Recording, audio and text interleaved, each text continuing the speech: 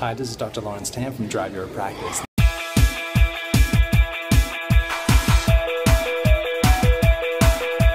I'm on top of uh, the Sky City in Auckland. Um, you can see the backdrop there. I'm just really up high. Obviously, I'm overlooking the uh, Auckland City and the harbor. It's beautiful here. I'm actually just about to speak at Lyceum this weekend, and uh, took, uh, took time to come over here to kind of get my mindset right. Well, the reason why I'm here on top of this uh, Sky City is because I'm just about to basically go to the roof of this tower and jump off and there's a, basically like of like a base jumping, but obviously it's harnessed. And uh, but the thing is, is when you look down to the bottom and look down to you know from the top of the tower, you can not just sort of have this bit of fear because I think it's inbuilt in all of us. This lizard brain, the resistance that sits there, goes, "What are you doing?"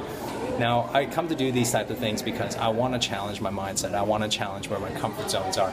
And one of the things that I talk a lot about um, is what Seth Godin wrote and um, in the Icarus Deception. And he talks about this thing called the comfort zone versus the safety zone. Now, the safety zone is when any rock climber would know that there's a point in your judgment when you just need to know that, you know, if you make that one next move or that, that the following move, that's going to create a huge problem. That's going to cause you life or death and you're better not to take it. is rather than to um, basically climb another day. Comfort zone though is the comfort zone that sort of stops us from doing the things that challenges us. So, but what he says is that most human, um, most of us, is that we have decided to make that comfort zone a safety zone. So basically what he's saying is that a lot of times what we're doing is that that comfort zone that's within us is the comfort zone that stops us from being better than who we are. So we live in mediocrity. And so as I talk a lot about inside champion's mind, it's about how to create yourself to stretch your comfort zone uh, into a level where you can actually start to building yourself to another person, to transform yourself, to kind of push the limits all the time, but never to test the safety zone, but to push yourself up versus the comfort zone.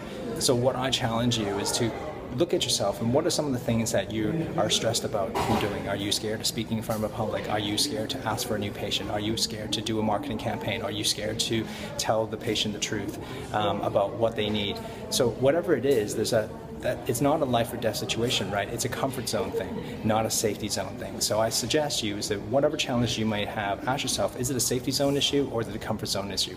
If it's a comfort zone issue, you might want to give yourself that um, chance to test what that what your limits are in the comfort zone and try to do it and see what comes out of it because I think you will grow and transform just by testing your comfort zone. Well, wish me luck. I'm going to be heading off uh, to the top now and uh, jumping off this tall building. I'm going to leave you with this thought and view of where I'm going to be going to.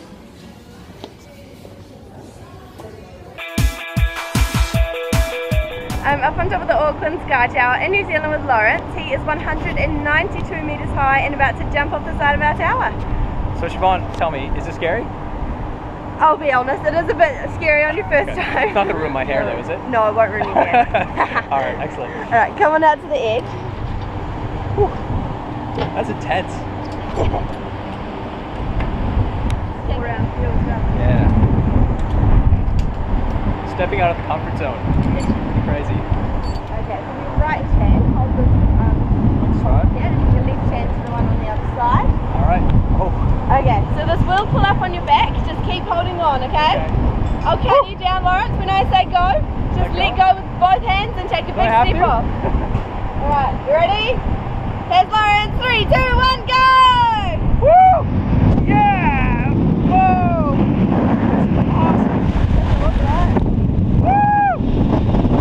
the hair going?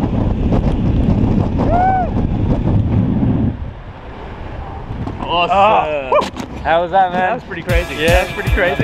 Excellent.